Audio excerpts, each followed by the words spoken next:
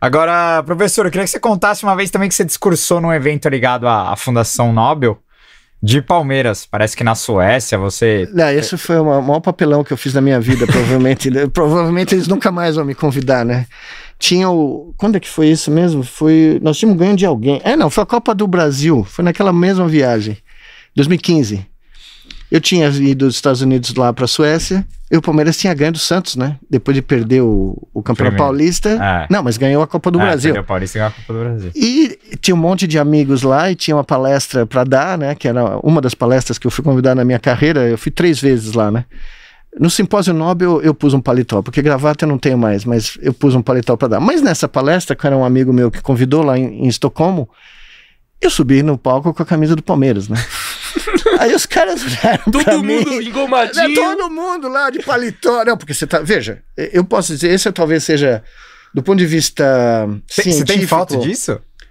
Ah, não sei, precisaria falar com meu amigo. Se ele tirou, Nossa. se ele ficou com tanta vergonha que, né, que ele não fez. Mas quando eu fui em 2011, que eu dei a palestra no Simpósio Nobel, que é o que você mais almeja como cientista, né? Se você falar. E o simpósio era sobre a área que eu criei. O simpósio era sobre interface aeromática e eu abri o simpósio.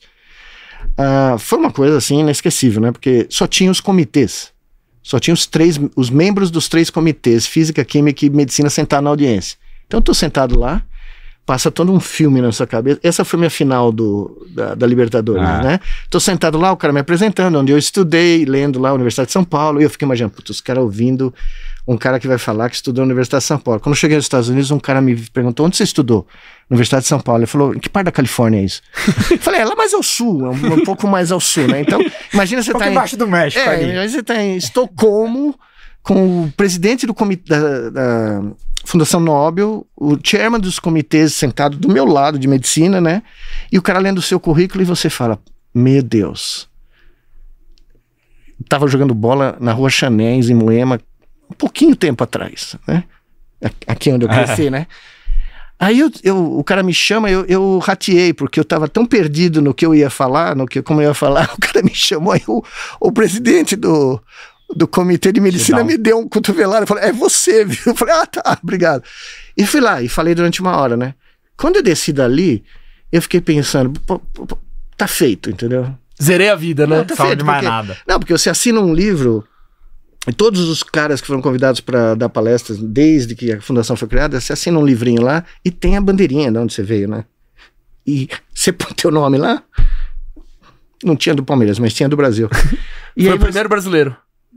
Eu não sei com certeza. Eu olhei as páginas, não achei, não achei muito compatriota, mas aí você vê esse barato, você fala 40 anos para chegar aqui, né? Nossa. 30, né? Naquela época foi 30. do palestra, é, Nossa, é, animal, é. Aí eu, eu, eu decidi lá, só tinha esses caras, então os caras não aplaudem, não é como uma palestra que você dá né? Porque os caras são todos membros do comitê, eles não podem dar demonstração nenhuma de nada, né? Porque tem gente que vai falar depois de você, né?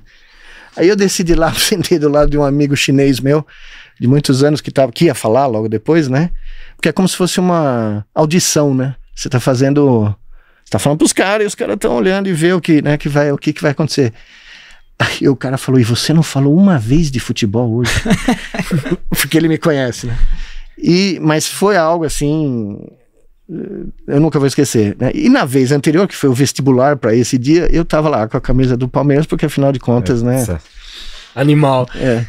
Absurdo. Absurdo, absurdo, absurdo. Fala, Palmeira, beleza? Curtiu o vídeo? Então se inscreve no canal e ativa o sininho. E para assistir a resenha completa, clica no link da descrição.